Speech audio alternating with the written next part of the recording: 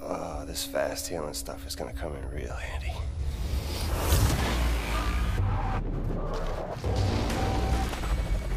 This